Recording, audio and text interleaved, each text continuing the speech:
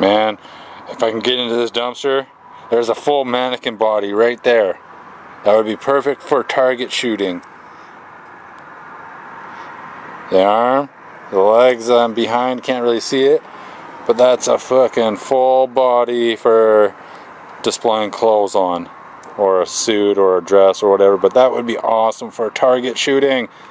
So I'm gonna have to come back here in the morning, early morning when the place opens up and see if I can get this. If it is not gone already.